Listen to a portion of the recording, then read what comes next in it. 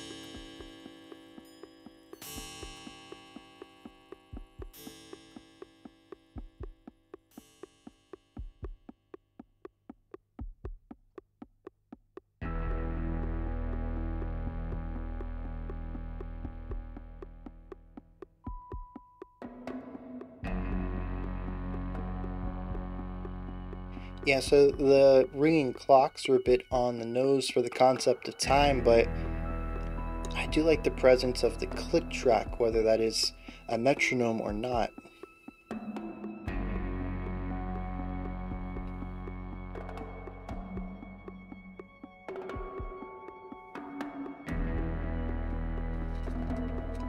I wonder.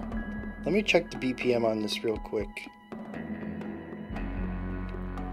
Really nice atmosphere in all of this.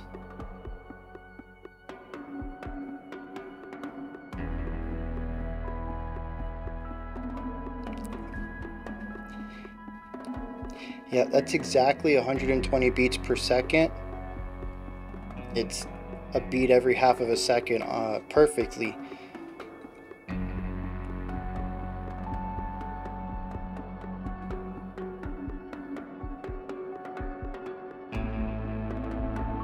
so the concept of time and clocks, we have a perfect representation of the passage of time in our tempo.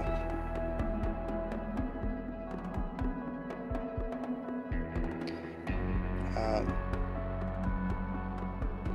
so for every four of those, boom, boom, boom, boom,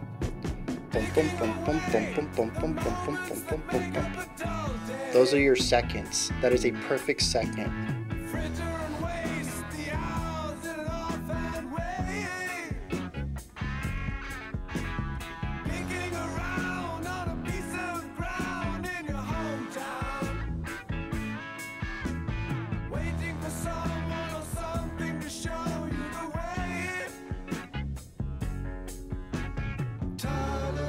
And actually, that last section, even this one,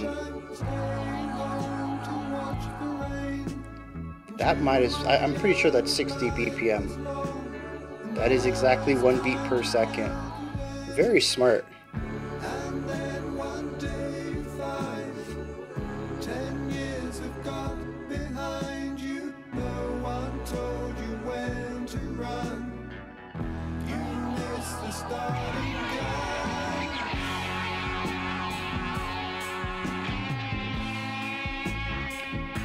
Harmonizations right there.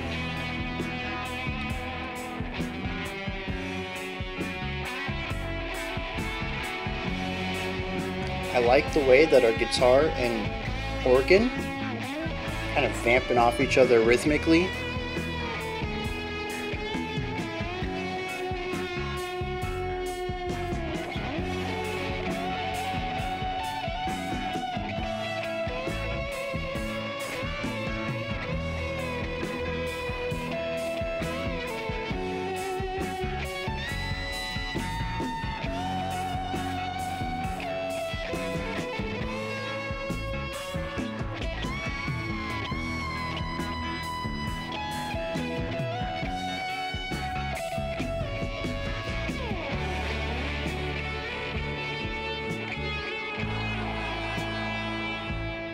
Yeah.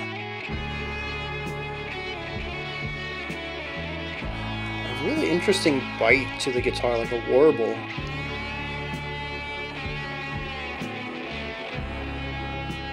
I think it's a slight delay actually.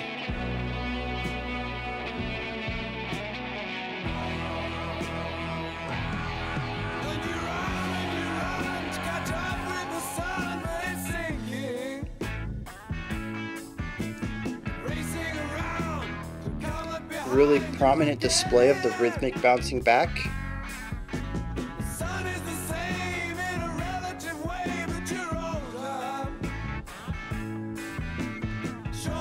It sounds great uh, with the headphones. Probably sounds a lot better with speakers too.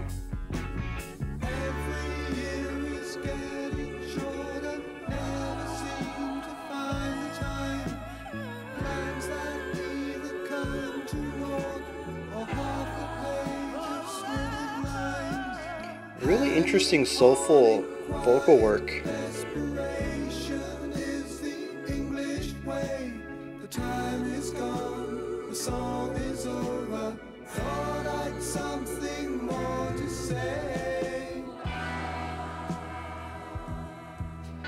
Just had a small tempo shift.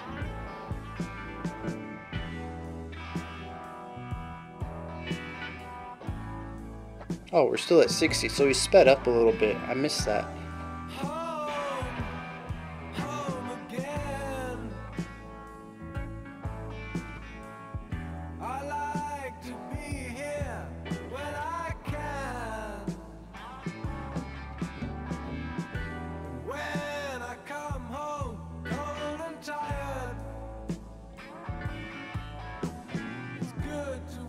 Nice little bass lick right there.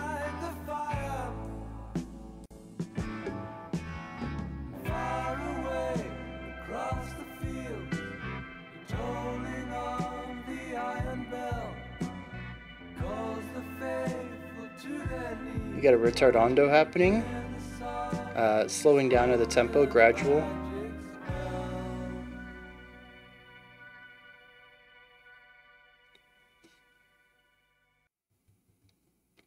Yeah, that's another Pink Floyd track that I've enjoyed. I probably should end up checking out this album. I think I have one of their other albums on my list already, but I don't think Dark Side is. Um, it's just a really solid uh, down tempo rock track with some phenomenal vocal work on top of it and probably for, at the time of release, some really interesting sonic qualities going on with uh, the guitar tone and some of the additional sounds that they're getting out of. Uh, honestly, I don't know. Every time I hear about these earlier bands and how they created stuff that we would just take for granted, we use a you know a, a digital synth or something to create this. They didn't have that um, back then, and I always hear about these wild, ingenious ways of how they created different sound effects for uh, for this. Like the clocks, they're just recorded clocks, I think. But um, the click track at the beginning, you know, I, I said that I don't know if they used a metronome for it or what, but it doesn't sound like a metronome that I know. And that's not to say that I've heard every metronome in the world, but it was very woody and hollow and thin.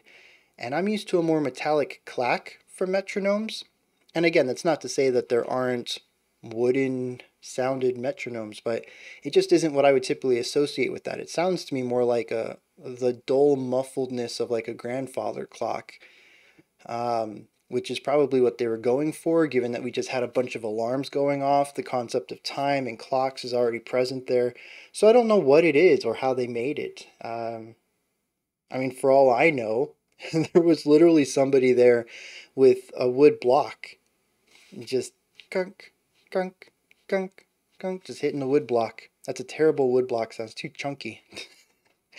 uh but yeah, like the entire process of how this music is created is something that's a bit foreign to me as I'm pretty much only used to acoustic creation. Uh, you know, a lot of my background is in classical music. I write the sheet music and I find people with traditional instruments to play it.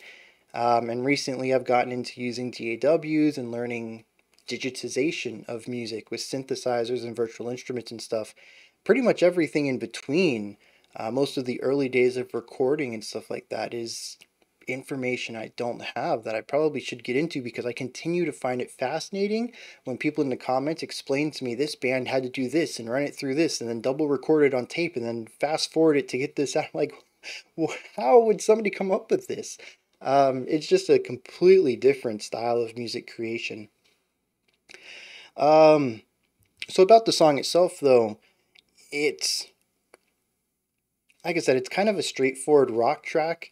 Um, we have an organ off to the right and a guitar off to the left, and they sort of just vamp around rhythmically with the, the chord, and it's just really neat hearing them bounce back and forth. I love that idea. It comes off a bit too strong at times. Actually, I think there's only one time when I think it's a bit too loud, but everywhere else, I think it's just a really perfect uh, point in the production of where it has enough prominence to be heard, but sits underneath the lead elements. Um, it does provide a bit of movement, though. It's very syncopated, it has energy, forward momentum, and for a song that is at 60 beats per minute throughout most of it, which feels laid back and slow, it's definitely on the slower end of uh, tempo, the song does feel like it just goes constantly. Um, and you know, it's kind of like time too, isn't it? Time can fly and time can stretch, and sometimes they happen simultaneously uh, especially once you start getting into the horror side of time and you think about how long you've been on this earth and also how short it's actually felt, simultaneously feeling the stretching and the rushing. That's probably not what they're trying to do with the music, though. I don't know, maybe it is. Uh, but it is, it does have this momentum to it that kind of betrays the the uh, the tempo of the track especially when the rest of the instruments are very laid back as well. The vocals are very legato. There's not a lot of emphasis to the individual syllables. It just kind of flows together. Notes are held out for a while. It feels very relaxed, uh, very leaned back, not really driving anywhere. There's no urgency to it, but uh, the rhythmic bouncing back and forth we have between these two instruments provides the opposite of that. And I think that's pretty cool. The drums were pretty consistent throughout. Um, the vocals, I think, are another highlight for me. Not only do we have a lot of, well, first of all, we have the perfect sound for this. It's very echoey, very long and legato y, lots of slurring between sound. There's not a lot of hard enunciation points which just again fits this laid back feeling that most of the track has, but we also have these beautiful harmonies on it as well. Additionally, there is a soulfulness to some of the vocal lines I wasn't expecting, especially the vocalizations that happen in the background that I was quite surprised by. I don't know if Pink Floyd always utilizes them. I think this is the first time I've noticed it, but I've only heard a handful of Floyd tracks, so I'm not 100% sure um, but it was just kind of came out of the blue. It fit perfectly though. Like it's it. I can't imagine a track without him there. But very much like an R and B soul kind of thing going on with some of the background vocals, and I love that. Uh, you know, it it kind of crossovers uh, genre a little bit, and that is honestly one of the best things I can see about any music, especially modern music, as a lot of stuff has already been done, and at least now, I feel like I'm at a really good time to be alive when a lot of music is just mashing up sounds that have been separated for so long, and I'm here for that. I love genre fusion, uh, and this is a really good time for that. We hear a lot of that these days. Um, in fact, we heard a wild one this weekend with that uh, Dorian Electra, I think was the name of it. That was a crazy track. Um, but yeah, so a really nice, like interesting soul R&B kind of thing going on here. Really appreciate that. Uh, and then the harmonies, tons of harmonies. We did have a bit of a guitar solo in the middle of the track. And I do want to put a little bit of emphasis on that because it was very well done. I know it wasn't as virtuosic, didn't have as much display of skill as some people prefer in their uh, solos, but to me it was just very tasteful. It understood the uh, the assignment given to it from the track itself and made a melody that just worked exceptionally well with telling the story that the song is trying to tell. I did notice afterwards we had some odd time stuff somewhere between like minute three to five we sped up somewhere i don't know where it happened and then we returned back to our 60 that we had at the beginning of the track. And, uh, I mean, that's a pretty good metaphor for time, too. You don't really pay attention to it, and all of a sudden, when did we listen to this song for five minutes already? When did the tempo get so fast? What, what, what is all this that's happening? and then you realize that the song's almost over and you feel this this lurch back to the 60 beats per second and you just kind of realize that so much of the song happened that you didn't pick up on whether it was a subtle increase somewhere or a small detail that went by you were paying attention to something else the return to 60 felt very odd to me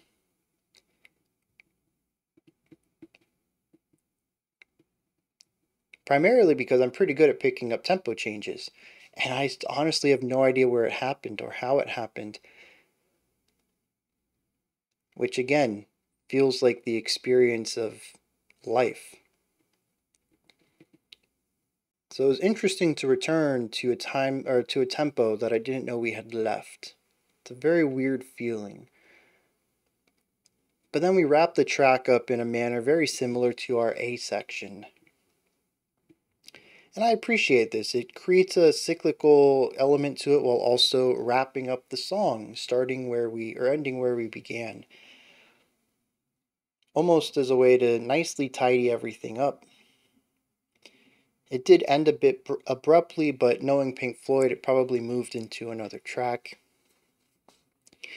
I'm really curious. Pink Floyd is one of those bands that, to me, they do the musical painting thing in a clear and concise way. There are some bands who decide to paint with ideas that make sense once you know the concept. And these are the ones that I tend to have a lot of issue with in this context because I don't have the original intention behind it and I'm trying to piece together what seemingly disconnected sounds are supposed to mean together and it makes sense once I get the prompt. Uh, Frank Zappa's The Great Wazoo is an example of this that happened recently that the my reaction to it was a bit of confusion and then somebody said oh this is two bands at war with each other no blood but like playing music at each other and Yep, that's the song is a perfect re, you know a perfect capture of that visual. But on its own, it doesn't really tell me that. This sort of sits between that end of the spectrum and something that's just very on the surface. Like our song is about uh, you know, flying and we put flutes and bird sounds in it. like Okay, uh, that seems pretty accurate there. And granted, Pink Floyd did kick it off with clocks.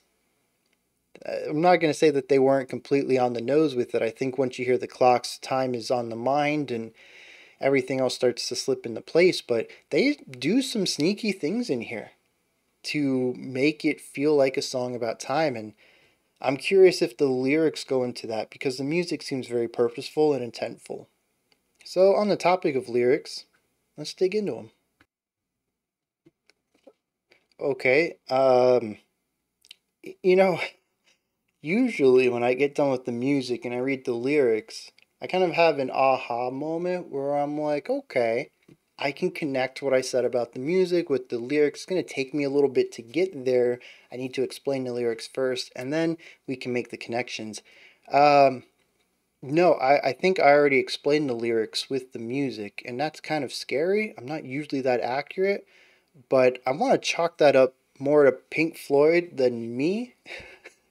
I don't think that my musical comprehension is any better today than it was yesterday or for any other song I've checked out uh, in the last year or so. I mean, you know, micro improvements, any skill you use gets better over time, but this was scary accurate. Um, and so I'd like to just say that Pink Floyd, I mean, all the bands, anytime that I get a reading out of a song, the reading is in there. You just have to understand the language. So while I do have that skill in pulling these ideas out, the band put them in there first. And a lot of credit goes to the band because without them, I wouldn't be able to read any of this out of it. Uh, so a lot of props to Pink Floyd for just making this uh, a spectacularly cohesive track on all levels, where you can listen to the music or the lyrics and get the exact same message out of it. We open up with uh, our first stanza, which comes quite a bit after the beginning of the track. Ticking away the moments that make up a dull day, fritter and waste the hours in an offhand way kicking around on a piece of ground in your hometown, waiting for someone or something to show you the way. So basically, just, uh, you know, waiting for direction in life.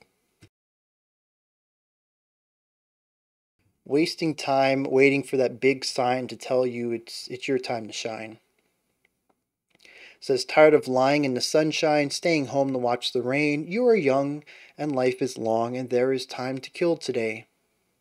And then one day you find 10 years have got behind you. The idea of time being both fast and slow, that perception is so important to time. If it's a dull day, the seconds tick slowly, but the very next second you can realize a decade gone by and you still have nothing to show for it. You're still kicking around rocks on your hometown. And it says, uh, No one told you when to run. You missed the starting gun. And when you run, you run to catch up to the sun, but it's sinking, racing around to come up behind you again. The sun is the same in a relative kind of way, but you're older, shorter of breath, and one day closer to death. Um, and this, I mean, it just, this is straight up midlife crisis. You hit your 40s and you're like, oh God, what do I have to show for any of this? Why didn't I start sooner? Right? If I had known then what I know now, I wouldn't have wasted my teenage days just, you know, killing time. Time is too short for me to want to just kill some of it. You know, I want to use every second, not waste it. Um, and it's that introspection and reflection that you have when you get older. That's what the whole song is about even the next line begins to talk about what I was talking about with the difference between the drive of the two instruments with the laid back chill of the rest of the band, uh, as well as the tempo. It says every year gets shorter, never seem to find the time. Uh, yeah, that's 100% it. Time is consistent, time is equidistant. Every second is the same, but some seconds are longer and some are shorter, and Conversely, some years feel shorter than others, and that tends to be true the longer you're alive. At least that's my experience. I don't know where any of the last decade went. I really don't.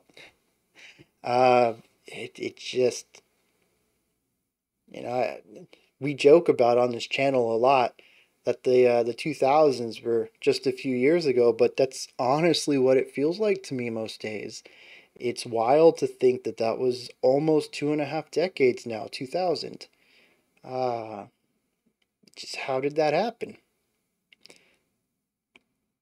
And so the music showcases this through variations of tempo Uh, also through different rhythmic ideas, slower and faster ones. And I really love the idea that a majority of the song at least takes place in 60 beats per minute, exactly one beat per second. I think it's a really neat choice to go that direction, even if we start off the track with uh, subdividing it four ways. I had mentioned I counted it in 120, and that's what it feels like to me. But honestly, we could also read it as 16th notes at 60. So, all right. Those are my thoughts on Pink Floyd's Time. What do you think? Put your opinions, perspectives, op- opinions, again, don't know why I'm saying that again, down in the comment section. Above that, in the description box, you'll find a link in there to Linktree. Takes you to this menu right here. You can find my music, ways to support the channel, link to the Discord server, and so much more.